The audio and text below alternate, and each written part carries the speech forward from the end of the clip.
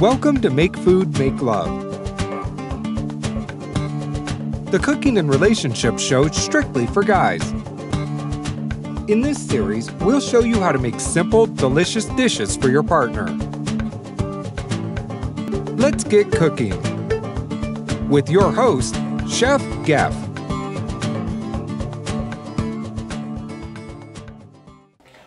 To another episode of Make Food Make Love, the cooking show for guys, where I show you how to cook so that she loves you more. And today we are making a very simple, almost self-cooking uh, meal of, or a recipe. It's called a banana kebab. Now, we're not talking about a ripe banana. We are going to be using a green banana. So, my girlfriend has not tasted my banana kebab. So that's exactly what we are going to be doing today. So to get started, what we need to do is take about six or seven green bananas and bring them to a boil. Boil them for about uh, 15 to 20 minutes or until soft. Now my bananas has been boiling for that time. So I'm going to switch off the stove and I'm going to remove them from the water.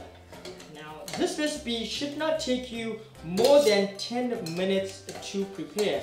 So it's quick and it's easy and even if you are a amateur or beginner at cooking, it's going to be simple for you to do. So once your bananas are off the stove, all you're going to do then is peel them.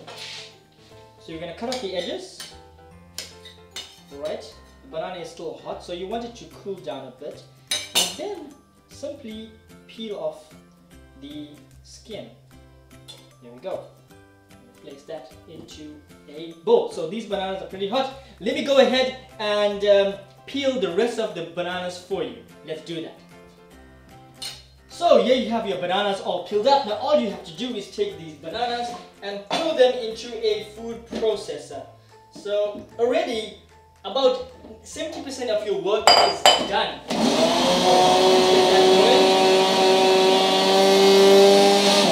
And that's really all the time you need in your food processor. So uh, remove the banana from the processor and place them back into your bowl. Now the thing about this recipe is that you really don't need any binding agent. So there are no, no eggs in this recipe. So not only is this recipe vegetarian, but it's also vegan as well. So, right, so to our banana, we add a tablespoon of cumin powder. We add some coriander powder, about one teaspoon as well. And then we add about a half a teaspoon of garam masala, one of my favorite masalas. And then to that, we're gonna add about a heaped teaspoon of uh, chili powder. Now, if you don't want your uh, kebab spicy, you can tone down a bit on the curry powder. Now, to that, what we're gonna do is we are gonna be adding in uh, one onion. So let us uh, slice up one onion. So the onion is going to add its uh, texture as well as flavor. Next, we're going to take some uh, coriander. Right.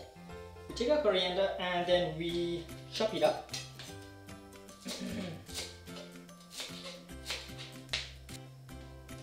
so that goes in there.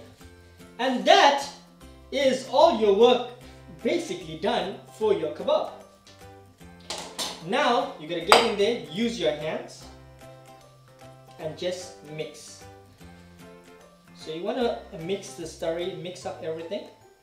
Now, I am mix, I am missing a few ingredients actually uh, in this kebab, and we're gonna add that in now. All right, and those missing ingredients are actually a pinch of salt. Actually, a bit more salt, and to that you can also add in a bit of mixed herbs as well. Alright, and if you want, if you want, you can also add in some pepper, uh, black pepper. So yeah, I have some black pepper, which I'm gonna grind into my kebab mixture. So what you want to do is that you want to take a little bit of uh, a kebab into your hand and then start to roll it into a ball. This is how you do it, right? Just watch me. Take a handful of banana mixture into your hand and you can even do it with one hand, right? Just slowly mold it into a ball and that's it. I'm gonna go ahead and finish making the rest of these recipe, uh, rest of these balls and uh, we'll join you after we're done.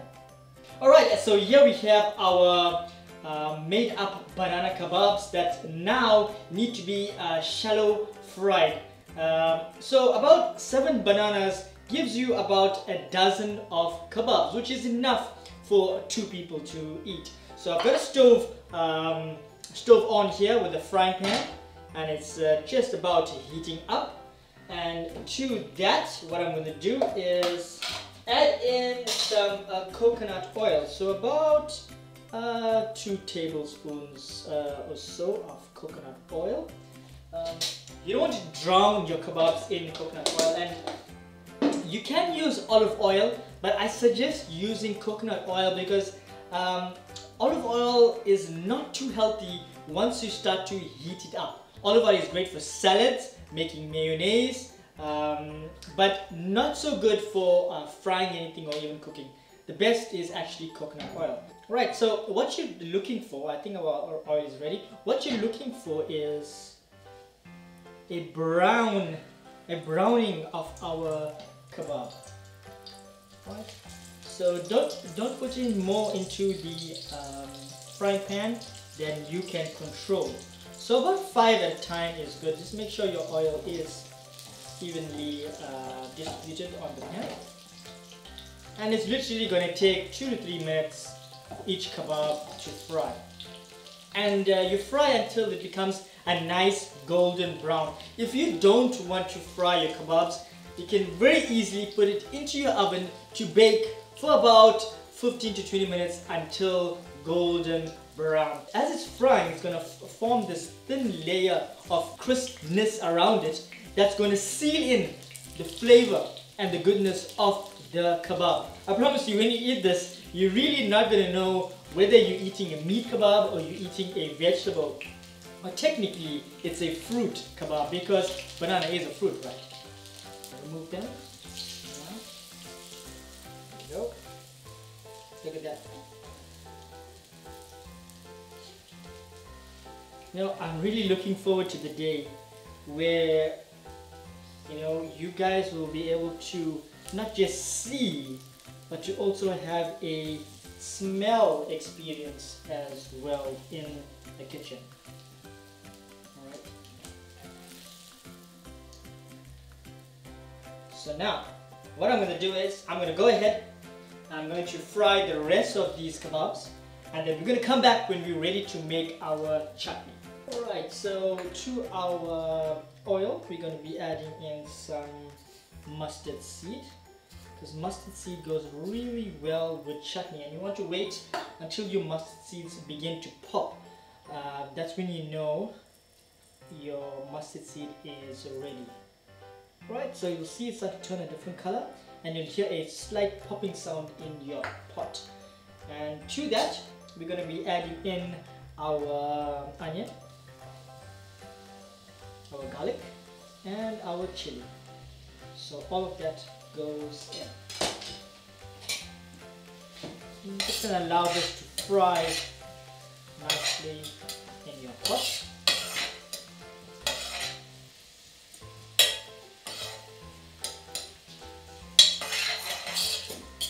So this takes about two or three minutes as well. You want to wait until your onions are brown that's when you know you're ready for the next step of this chutney. I've actually gone ahead and um, grated up some tomatoes here. Now you can use a can of tomatoes, no problem. In fact, that's probably the easier way to go, the easier um, way and the time-saving way to go. So you can either use about uh, four tomatoes or you can just use a can of tomatoes uh, with some tomato puree in your dish. But I've got some fresh tomatoes which I'm using here. So once you see our onion starting to turn translucent and turn a little brown. To that, we're going to add in a curry leaf, right? So a, a stem of curry leaf. So what you do, what you can do is remove all of the leaves from there.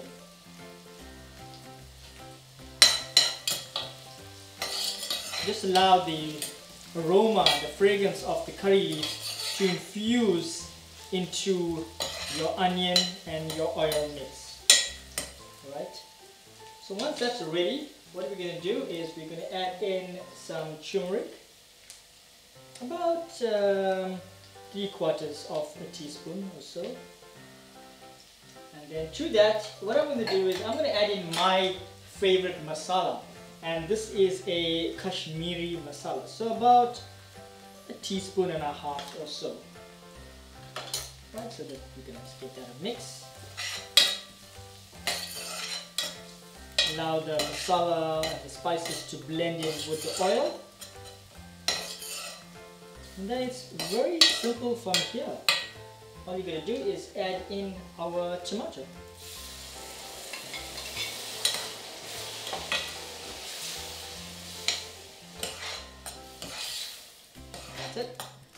Make sure your stove is on a nice high. Make sure all of your spices mix into your tomato. Now that's gonna that's gonna come to a boil. So while we're waiting for that, just wanna, I just want to cut out cut up some uh, coriander. Coriander is not just a garnish, right? But it's also adds so much of flavor to your meal. A lot of people only use the leaves of the uh, coriander, but most of the flavor actually exists in the stalk. So do not waste the stalk. Make sure you add that into the curry. So what I'm going to do with this is that I'm going to add in about half of my coriander now. And I'm going to keep half for later. Now I've already gone ahead earlier on and made some basmati rice. So that basmati rice is ready and I'm going to be serving our banana kebab uh, with the chutney with some basmati rice. So go ahead and prepare your favorite side uh, dish, your favorite carb that you want to have with this meal. Rice, naan, roti, whatever it is that you prefer. In fact, it can even go very easily with just some brown or white bread as well. Right, so to this, we're going to add in some salt to taste. And most importantly, and this is what people forget, a tomato is a very acidic fruit, right? Uh, tomato is a fruit, not really a vegetable. So uh, today is actually a fruit day and not really a vegetable day. So what you want to do is add in at least, at least uh, a heaped spoon of, a heaped uh, tablespoon of sugar to your chutney, right? Because that's going to cut down the acidity of your tomatoes. Alright, so our chutney is uh, ready. So to that, we are going to be adding in our kebabs. Now, if you want, you can even eat your kebabs without your chutney. You can use your favorite dip favorite sauce, you know, um, and you can add like a chili sauce if, if you want. So that is in there. Alright, now I'm just going to give that a stir. Just gonna almost bath the kebabs with the chutney. Just infuse that in there. Just make sure that it all gets in a little bit of that chutney The flavor of the tomatoes and the chutney is going to go into the, into, into the kebab. And the flavor of the kebab is going to infuse into the chutney. So to that I'm going to add the rest of my coriander. Just going to keep a little bit maybe for garnish.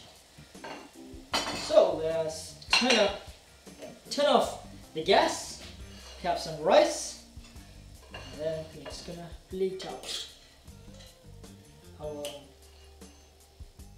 kebabs. There we go. It's about five kebabs for a person, you know, as much as you want to eat. So it's done. Garnish it here.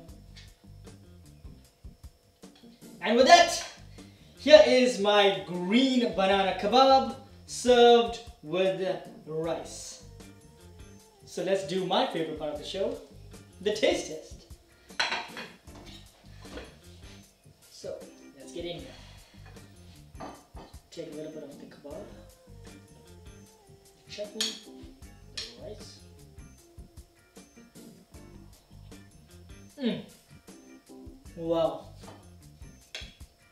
I really don't know whether I'm just always really hungry by the time I'm done filming this uh, these episodes, or whether the food I cook is just so damn good. It's really hard to say what I'm eating. I don't know whether it's soya or whether it's meat, but I can tell you that whatever I am eating is absolutely delicious. Mm. Mm. Divine. So, why don't you go ahead and try making these um, absolutely delicious banana kebabs. If you want, you can omit the onion and um, you can make the, the, the kebabs without the onion. If you want a more smoother sort of ball if you if, if you don't like the onion. And if you want also you can add in a little bit of a chili. You can actually cut chili and add it to this as well. If you made the recipe please send me your photos. I'd love to hear from you. I'd love to hear if you're trying out any of the recipes. And I'd like to know what your partner is thinking as well. So until next time Happy cooking!